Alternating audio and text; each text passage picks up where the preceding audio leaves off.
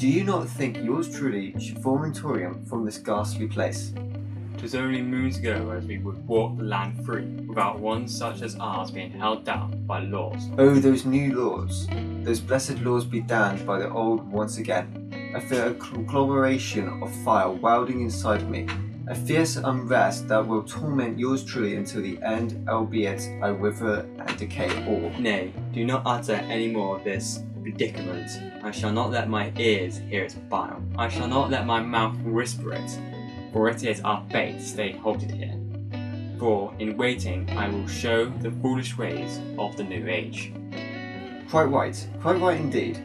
We have tested out our sanities thus far.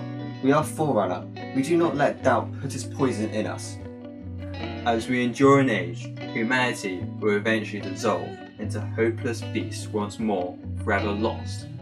That is our hour, and we will be their monoliths. And, they, shall worship us.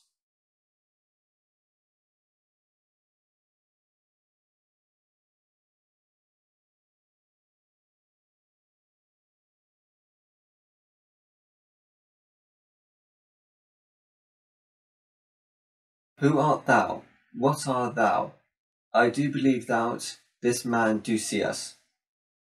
Does he not see our staddle, like every other flock that comes here?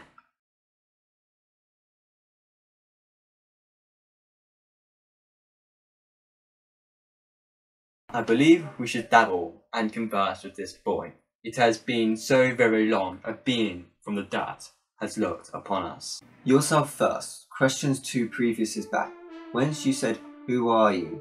We are beings of old, and our true names are ours to keep, for if we should war gabbit, you should surely run. Your second question, two previous is back. What are you? We are beings that live beyond mere existence. However, on occasions, lambs out of the flock do perceive us, not with their eyes. It is deeper, much deeper. Your third question, two previous is back. I do believe that this was mostly rhetorical, but yea, I will indulge. I am losing my mind. Nay, you are not. However, if you do hollow out and cry of what you have seen, Bedlam will await. Pity would be in the eyes of the flock, and cast you aside you shall be. Your fourth question, one previous back. Where have you come from? Doest you see the air you breathe? We have always haunted your steps from beginning till end.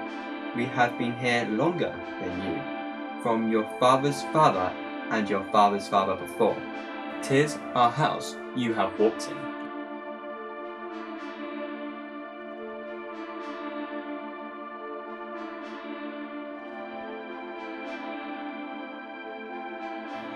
Look, the poor man is inept utter words from thy mouth. Have you not any extraordinary things to say? Or does ourselves being here like this halt the work of your mind? Stay your path. We answered your fourth question with little hesitation. I shall think one like yourself would be obliged to indulge us in matters of which trifle us.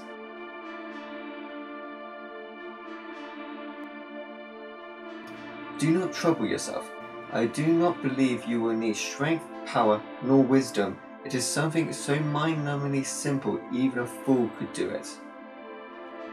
Perching yourself on that spot, that very spot, making very little adjustment to position, we will reach out and touch ourselves. Oh, so many questions. Oh, so little time. I tell you to withhold your tongue and make your mind a blank. We have been in limbo for so very long. It will feel splendid. A treacherous, deceitful kind will know thy name and rejoice, for ours knows known bounds.